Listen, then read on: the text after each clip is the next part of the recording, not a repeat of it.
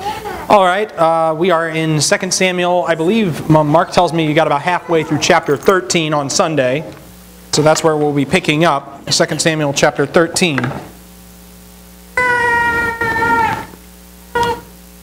Okay. And uh, in the basic flow of the story, uh, what we're really looking at, the whole arc of chapters 13 through 20 is kind of the aftermath of David's sin. Really need to view chapters 13 through 20 as a single uh, story that shows problems that went on during David's reign.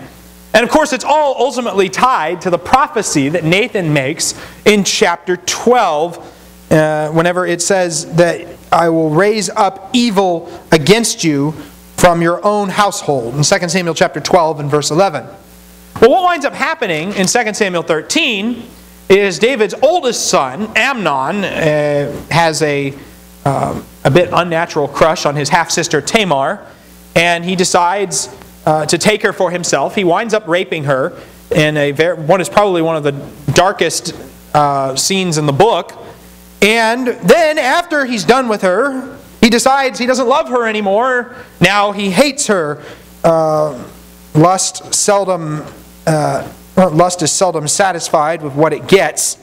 And now he wants to send her away. In verse 15, it says Amnon hated her with a very great hatred, but the hatred with which he hated her was greater than the love with which he had loved her. And Amnon said to her, Get up, go away. But she said to him, No, because this wrong in sending me away is greater than the other that you have done to me. And he would not listen to her. He called his young men who attended him and said, Now throw this woman out of my presence and lock the door behind her. And she had on a long sleeved garment, for in this manner the virgin daughters of the king dressed themselves in robes. Then his attendant took her out and locked the door behind her. Tamar put ashes on her head and tore her long sleeved garment which was on her. And she put her hand on her head and she went away, crying aloud as she went. The narrator really doesn't want us to like Amnon very much. Uh, he's, you know, depicting Amnon as just this, well, basically a really bad person, a jerk, if you want to uh, uh, we, you know, we're not just spectators here to a historical curiosity. What we're seeing here is, you know, we're supposed to sympathize with Tamar as the hapless victim and sort of to look down on and judge Amnon for his, how, what the evil pervert that he is. Uh, and, you know, uh, what, what's going on here? Uh, we don't know exactly why Tamar would have thought that it would be a worse idea to send her away. Uh, that's a little bit of a shocking statement in and of itself, too. Um, there were some strange ideas in the ancient Near East about how rape functioned. Uh, in Middle Assyria, there was a law on the book for vicarious rape. If a woman was raped, then the, uh, the law specified as punishment that the rapist's wife would also be raped. Well, you don't find anything like that in the Bible, but you find that in Middle Assyria roughly the same time that all this is going on. Uh, but Amnon discards her. He treats her like a piece of trash. He's used her. He's had his way with her. He's getting rid of her. He no longer calls her his sister, but, uh, verse 17, this. And I realize that I think this came up last time. Uh, the word woman is not in the Hebrew text. It's a feminine form of the verb of the noun this. Just get this out of here. Now, before that point, it's my sister this, my sister that. Come lie with me, my sister. Now, get this out of here. He's, he's definitely dehumanizing her, is the idea here. Um, and Tamar is mourning. You look at the gestures that she does here. She wears a long sleeved garment. Actually, that's the same word used for Joseph's coat of many colors in Genesis 37. Uh, it's a Joseph's coat of many colors was probably really just a long sleeved garment that Jacob gave to him as a way of saying that, you know, oh, you're not going to have to do manual labor which would have really infuriated his brothers against him. Um, although it definitely doesn't, it, does, it doesn't preach as well or look as well on children's Bible storybooks as the coat of many colors does, so that's why we've uh, got that. Um, the garment was a symbol of royalty. Now that, she, now that it's lost, uh, it was a symbol of her royal virginity, and now that she's lost her virginity, she tears it, she mourns. She has no way of knowing if there's going to be a pregnancy, she has no way of hiding her loss of virginity. Uh, it would have made her substantially unmarketable in that culture uh, because of the kind of emphasis they placed on that. But Absalom finds her, and he comforts her in verse 20 and says, Has Amnon your brother been with you? But now keep silent, my sister. He is your brother. Do not take this matter to heart. So Tamar remained and was desolate in her brother Absalom's house. Now, what, what do we think of Absalom's reaction here? Do not take this matter to heart. Well, I'm not sure, I mean, I I don't speak, I'm not sure exactly how to take this thing, like when Jesus called his mother. We think, that's kind of cold. Mm-hmm. That was a term of endearment. Hey, so it's like calling her mommy. Yeah, yeah. Absalom says this, or it sounds kind of like a, a guy speaking to a girl, but, well, you know, it happened, tough it out. yeah, it, it does come across that way. Okay, well, no, it does come across that way a little bit. Um, granted, I mean, Absalom, you know, don't, don't worry about this. Uh, Amnon, Absalom uh, probably has something else in mind, of course. You know, we, we see that he's a, a long-term planner throughout the book. He serves revenge as as best served cold. And, you know, don't set this matter on your heart. Keep silent. Keep quiet. You know, he kind of... And I mean, the one suggestion that's out there is he just simply has her, you know, keep quiet about this. Don't keep bringing this up. I want everybody to forget about it long so nobody suspects what I'm going to do next. What is Absalom going to do next? Well, he's setting up Amnon to kill him. Um, now, and Absalom takes her into his house, and she lives as a desolate woman in the house of her own brother. So she's cared for. Now, David has a little bit of a different reaction. Verse 21 King David heard of all these matters. He was very angry. But Absalom did not speak to Amnon either good or bad, for Absalom hated Amnon because he had violated his sister Tamar. Uh, what do we think of David's response? He's really angry. Dark. And then what? You know, and the and then what is probably what we're supposed to see. And actually, there's a, there's a textual variant in uh, the Septuagint and in the Dead Sea Scrolls that adds this line When King David heard all these things, he was very angry, but he did not rebuke the spirit of his son Amnon because he loved him because he was his firstborn. Uh, that's in some of the older manuscripts. So, So what. he turned a blind eye. Hmm? He turns a blind eye to it. You know, he doesn't really deal with the problem. Now, some people speculate that because David failed to act here, Absalom, this not only becomes the basis of Absalom killing Amnon, but also the entire basis of Absalom's coup. I, I don't know about that, um, but I'll just throw that out there. But because David fails to act, what happens? Well, Amnon remains an unpunished felon, Tamar languishes as damaged goods, and Absalom becomes a seething vigilante. That's what's going on here. Um, now, David, of course, you would think that David might feel a little measure of guilt since, well, he's the one that originally sent Tamar on that ill fated errand for her brother. But that's not what happens. Absalom, Absalom gives his brother the silent treatment, doesn't speak a word to him either good or bad. Oh, that, that's actually the same expression used in Genesis 37 uh, when Joseph's brothers don't speak a word to him, either good or bad. It's an idiomatic way of saying, you know, I'm not talking to you anymore. I don't like you anymore. You know, and of course, two years go by. That brings us to the next phase, verse 23. It came about after two years, two full years, that Absalom had sheep shearers in Baal Hazor, which is near Ephraim. And Absalom invited all the king's sons. Absalom came to the king and said, Behold, now your servant has sheep shearers. Please let the king and his servants go with your servant.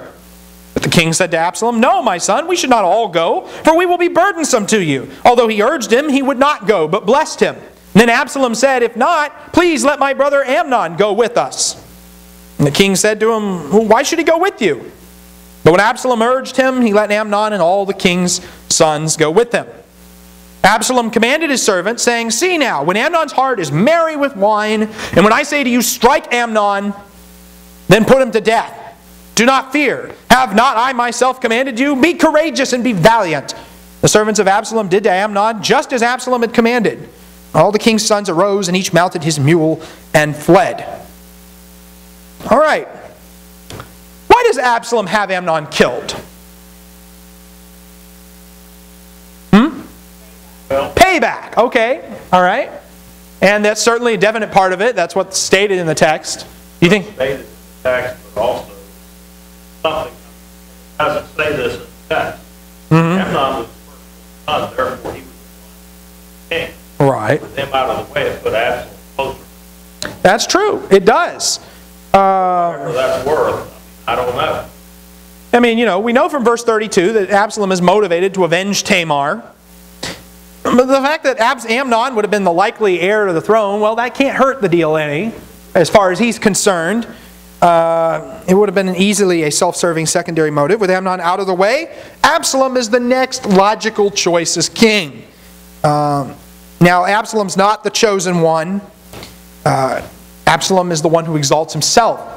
And in killing his brother, he puts himself in the same boat as, uh, well, guys like Cain and Abimelech and Jehoram, men who kill their brothers.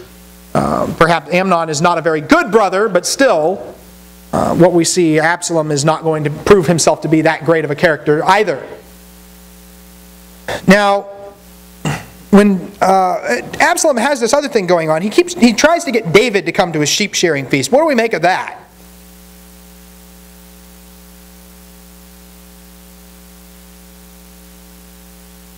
Well, it wasn't practical. He asked for David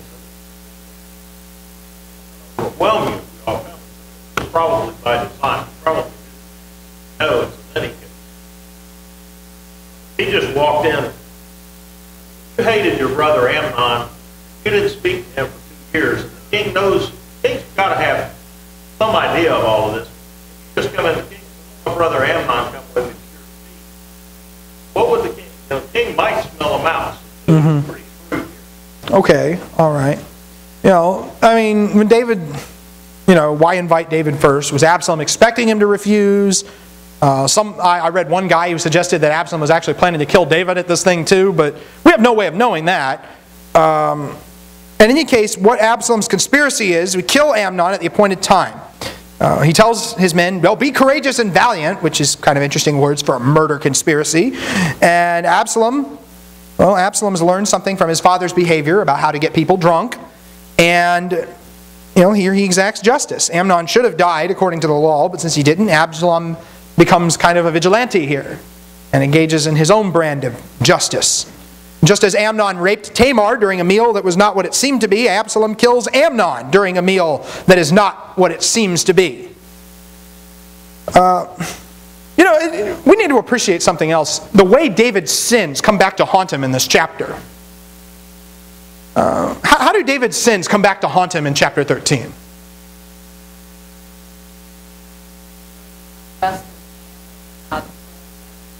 Okay.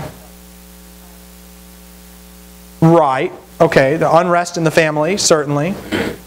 He was- partial manner. What David did with Bathsheba was done. What happened with Tamar was a little bit more in I would say totally in the open, Right. little bit more open. Yeah. I mean, David's sexual sin with Bathsheba is mirrored by the sexual sin taking place in his own household with Tamar, right? No. Something else, too, though. What else is echoed?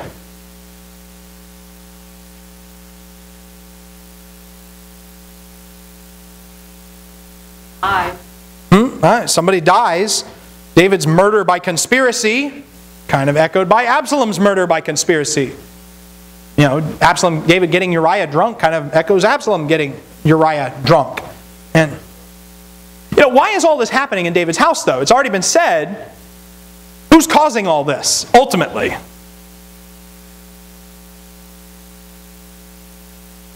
David causes it by his sin. You know, but who's swinging the hammer of justice here? Well, God is. Yeah, this is this is an interesting thing because God, Yahweh is never mentioned by name in this chapter, and yet we're clearly seeing His words fulfilled. In chapter 12 and verses 11 and 12, I will raise up evil against you from your own household. You did it secretly, but I will do this thing before all Israel, God says. Here we're seeing the very dark side of providence. Uh, the Lord's word comes to pass. God keeps his promises, and sometimes they're not pretty doesn't mean God is doing. God is simply using evil people to accomplish his will. No. I mean, there was one prophet that complained to God, How can you bring this people that are more evil than Israel to punish Israel? Mm-hmm. Don't worry about them. I'll take care of them. Right. But Israel needs to be. They're the ones who do it. That's an not use evil. Go ahead and do things like that and take care of them instead of making righteous people do bad things. Glad you brought that up. You know, because that's basically what's going on with Absalom in David's house, isn't it? God uses Absalom to punish David. But does Absalom get off scot free? No, Absalom himself gets punished later in the story. You know, the Lord, and it specifically says in chapter 16 that the Lord uh, it was orchestrating Absalom's death. Sorry, not chapter 16, chapter 17. It says, The Lord ordained to thwart the good counsel of Ahithophel so that the Lord might bring calamity, or literally, the Lord might bring evil on Absalom. So uh, there's kind of a double edged sword here. He brings justice for David using an evil man, and then he avenges David by bringing uh, a, another retributive strike on Absalom. Uh, this is how the justice of God kind of works in these cyclical patterns throughout Scripture. You see it in Habakkuk with Jerusalem and the Babylonians. You see it in Isaiah with Assyria and Samaria. And, you know, whenever the Lord finishes using Assyria, the rod of his anger, he then turns around and brings judgment on them because they had the audacity to exalt themselves. They were not properly motivated while carrying out the justice of God. And so, what's interesting here is that even though David is the one primarily being punished here, we're going to see during Absalom's revolt, David is the one who conducts himself still with acceptance and with good character, with upstanding integrity. Even while he's being punished, David proves himself to be a man after God's own heart. We're going to see that as we get into chapters 15 and 16 and so on. Um, you know, we need to appreciate how David's sins are coming back to haunt him here. Well, now we get to verses uh, 30 through 33. Can I get a volunteer to read 30 through 33 of chapter 13? Now it was while they were on the way the Lord came to David, saying, Absalom has struck down all the king's sons, and not one of them is left. The king arose and tore his clothes and lay on the ground, and all his servants by his side with his clothes torn. Jonadab, the son of Shimei, David's brother, responded, Do not let my lord suppose they have all the young sons. Amnon alone is dead, because by the intent of Absalom, this has been determined since the day he violated Tamar. Now therefore do not let my lord the king take the report to heart, namely, all the king's sons are dead, for only Amnon. I'm sorry, verse 36. I'm, Now that was my fault. fled, and the young man who was watchman raised his eyes and looked, and behold, many people were coming from the road. Jonadab said to the king, Behold, the king's come, according to your servant's word. So it happened. He had finished speaking, the wept. Also the king, all his servants wept. okay. All right, yeah. You notice uh, one character comes back that we saw at the beginning of the chapter Jonadab. Why does Jonadab appear here in this scene? Well,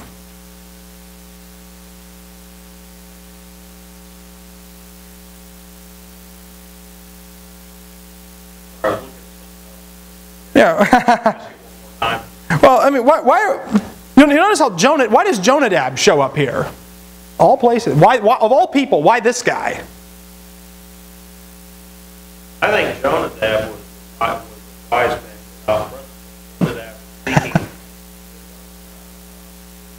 Favor, support, uh, orchestrated sin against Tamar, sure, but kind of stayed out of that and seems to have gotten off pretty well scot-free. And now, the proof, you know, the chickens have come home to roost, so to speak. So Jonadab is up here as kind of the hero, bringing good news. Wait a minute, all your sons aren't dead, just Yeah. just the perpetrator. Right. Now, Jonadab is kind of in the know about everything. You know, he's the guy who started all the mess in the beginning of chapter 13, and now he's the guy who kind of finishes it and wraps it up. The end of chapter 13. Some people speculate that Jonadab was always in cahoots with Absalom and was always against Amnon. And uh, I mean, I don't know how much you can read into that. Well, I wonder kind of how much in Absalom Yeah. He, seem, he seems to know something about Absalom's intentions in verse 32. Uh, you're right, though. Jonadab is wise without principle. Uh, you know, David, of course, gets a distorted report at first. Absalom's killed all the king's sons. He was probably watching televised news and got the exaggerated version up front. And, uh, I mean, it's, it's the truth. I'll just say it. Uh, David tears his clothes and he weeps.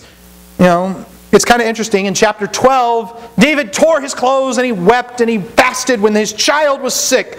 And then he immediately arose and ate and drank and accepted the fact that his child had died. Well, here, it's the opposite. He gets news that all of his sons are dead, and he tears his clothes and weeps. And this is actually very reminiscent of the scene from Job chapter 1, you know, where the messenger shows up, all your sons are dead. Even kind of a similar setting. We got them all gathered in one house. But it's not the book of Job, and that's not what happened. Jonadab uh, comes to David and he tells him, No, you've got it wrong. Only one person's dead. And verse 33, we see a phrase we've seen before do not let the king take the report to heart. We saw that earlier, didn't we? Where did we see that? That's what Absalom said to Tamar. That's what Jonadab's saying to David. Oh, don't take this to heart. You know, don't take this to heart. It could be a lot worse than it is, David. You know, so there is a, uh, again, it comes off a little callous, um, comparatively speaking. The rest of the sons, of course, return in verses 34 and 35. And uh, you know, the, the watchman sees them coming, everything turns out to be okay. Jonadab's words, of course, are not really comforting, though, because in verse 36 it says that the sons came, lifted their voices, and wept, and the king and all his servants wept bitterly. Everybody who comes into the city is weeping. David continues weeping. Verse 37 David mourned for his son every day.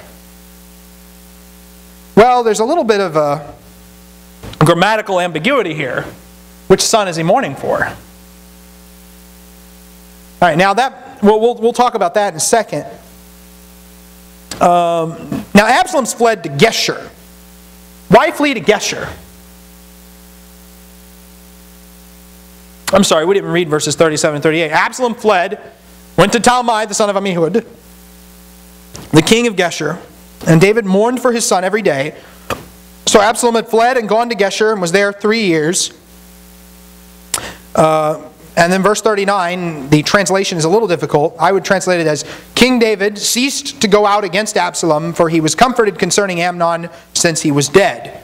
Uh, all right, so why would Absalom flee to Geshur?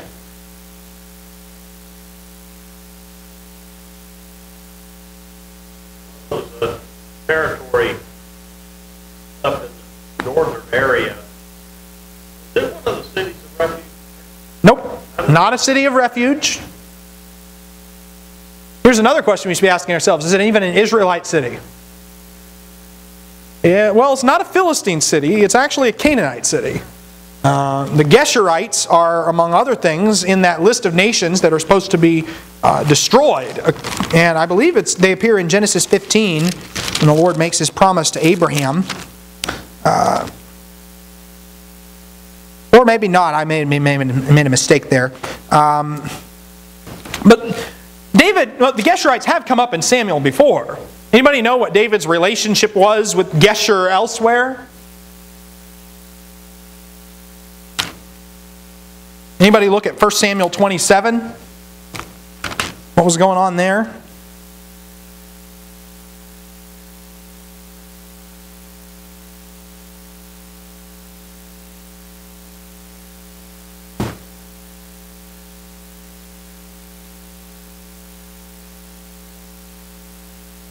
First Samuel 27.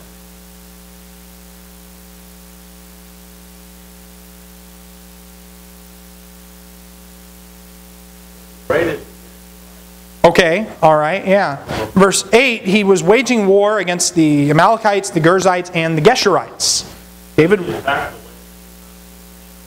Uh, so David's had kind of a rocky relationship with the Geshurites already. They're already Canaanites. Um, and but we know something else about the Geshurites too. Why does Abs- what, is the, what is the appeal of Geshur for Absalom? Yeah. My grandfather on mommy's side lives in Geshur. At some point, David formed a marriage alliance with this group by marrying the daughter of the king of Geshur. Um, now, David Absalom spends three years in Geshur. How do you think that's going to play into the story? Is that going to play into the story? What would David be doing for three years with a pagan king who already has an uneasy relationship with David? Hmm?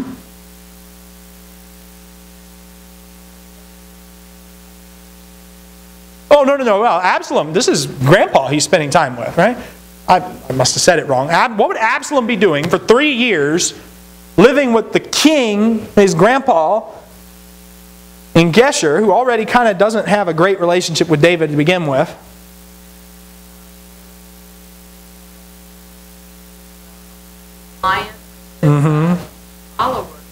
Yeah. Yeah, I mean, it's possible that, you know, what we see here is a little bit of the string pulling that sets up the coup that Absalom is going to pull in chapter 15. Uh, we're going to keep reading and you can decide what to think about that. Well, of course, David, how does David feel about Absalom's departure? Now, this is the, this is the tricky part. Uh, how does David feel about Absalom's departure? Does he want Absalom back or not? I see one person shaking their head yes. I saw somebody else shaking their head no. Yeah. This is a tough one, isn't it? Okay, here's, here's the issue. Um, there's a, strictly speaking, what we've got here is uh, there. Some Bibles add the word heart. The New American Standard Bible, for instance, says that the heart of King David longed to go out to Absalom, for he was comforted concerning Amnon since he was dead. And that makes it sound like David likes Absalom. And in verse 1 of the next chapter, Joab the son of Zeruiah perceived that the king's heart was inclined toward Absalom. Now, that sounds positive too. But there's another way to translate it. And, you know, here's what we get.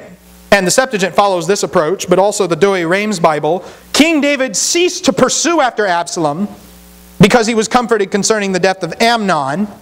And Joab the son of Zeruiah perceived that the king's heart was against Absalom.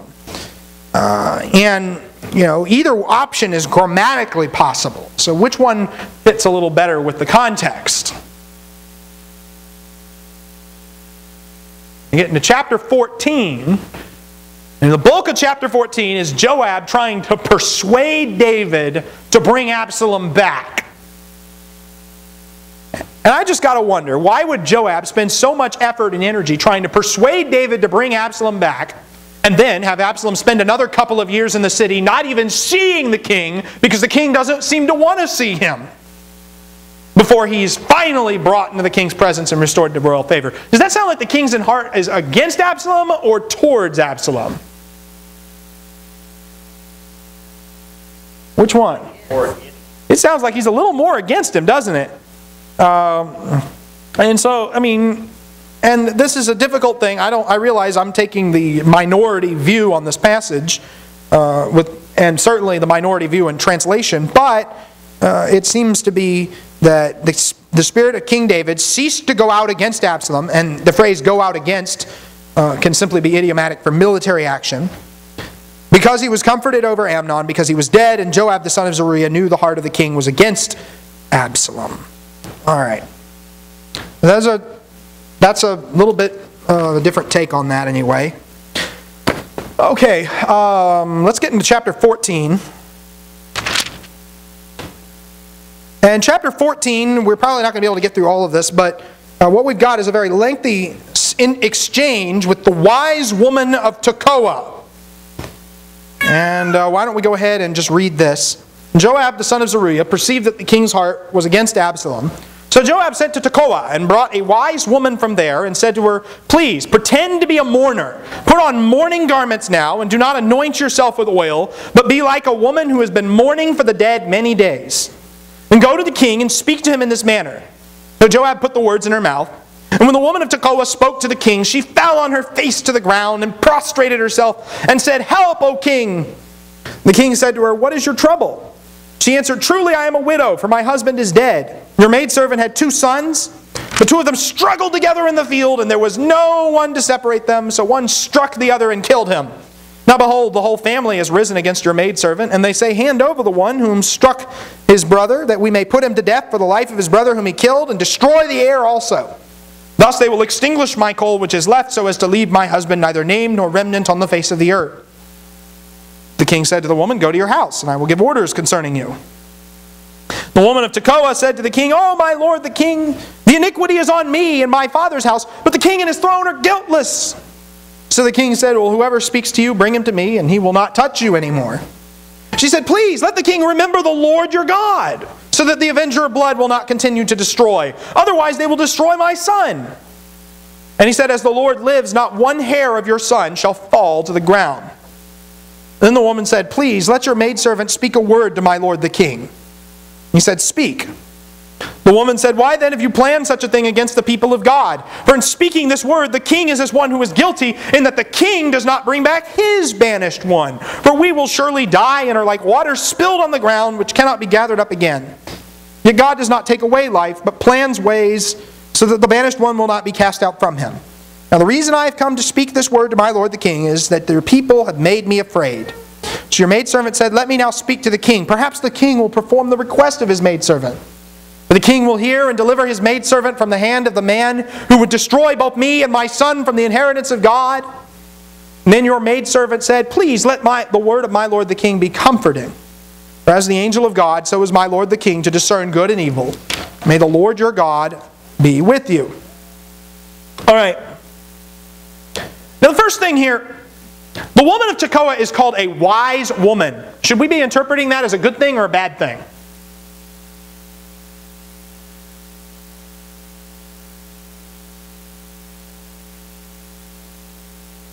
Mm, depends what she says, doesn't it? You know who the last person in the book to be called wise was?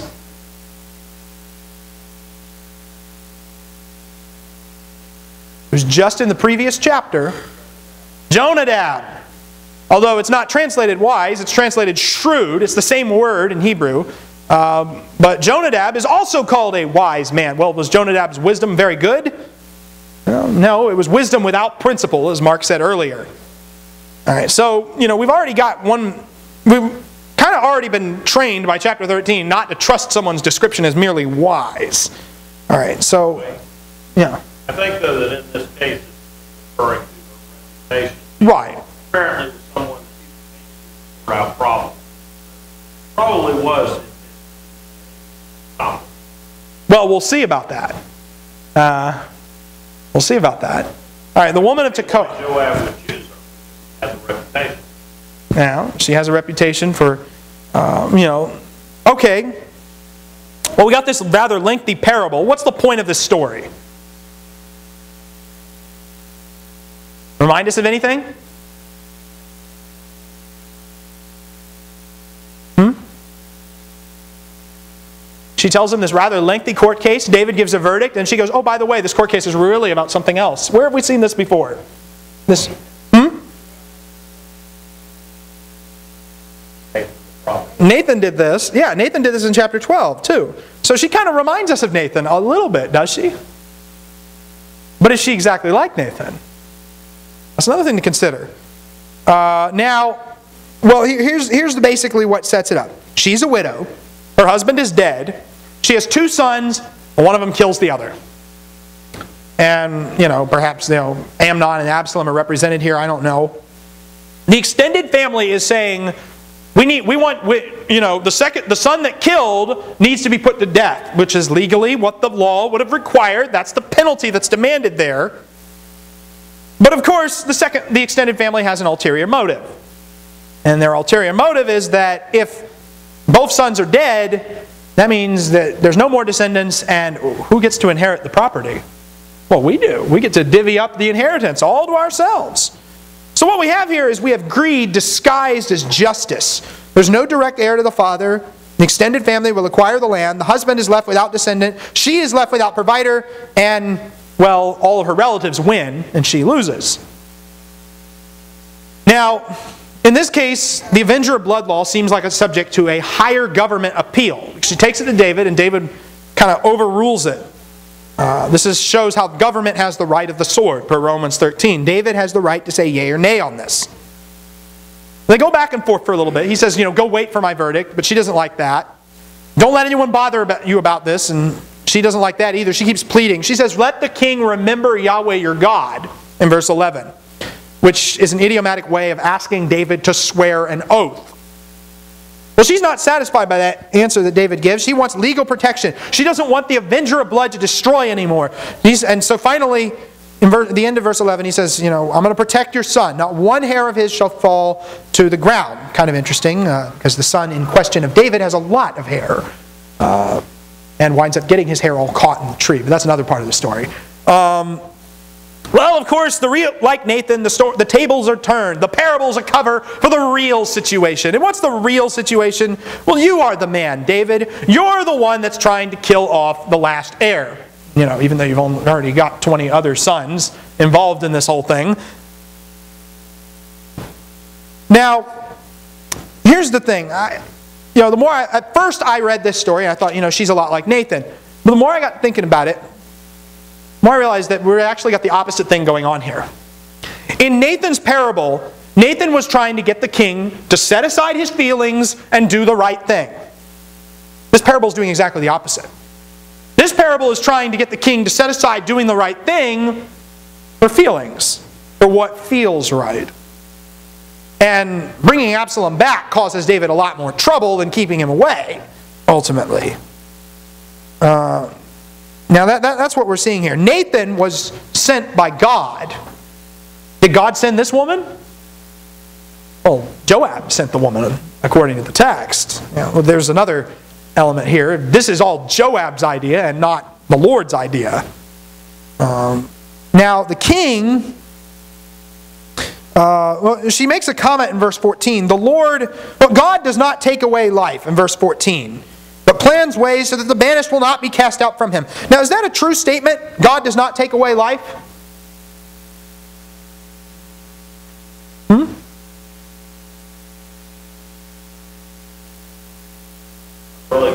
It's not always true, certainly not, no. Um, it's not true in the temporal sense. Everybody dies at some point. Uh, and in fact, in chapter 17 and verse 14, we learn that God is the one engineering Absalom's death. They bring Absalom back, and then the Lord plans to do away with him and kill him off. So uh, you have that issue as well. Now, there is a sense in which the woman's statement is more true than anyone realizes because everybody will ultimately be raised from the dead. There will be a resurrection of the dead.